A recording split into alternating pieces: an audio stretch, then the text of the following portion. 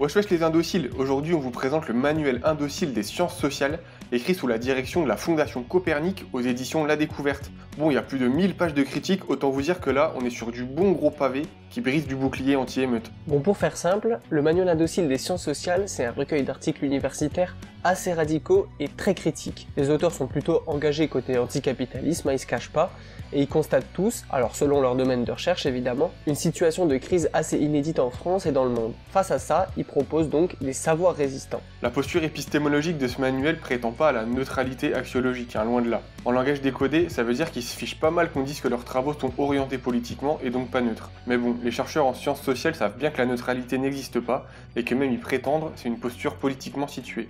Donc voilà, vous êtes prévenus, ne cherchez pas dans ce manuel des articles de complaisance, plats, de surface ou pseudo-neutres. Hein.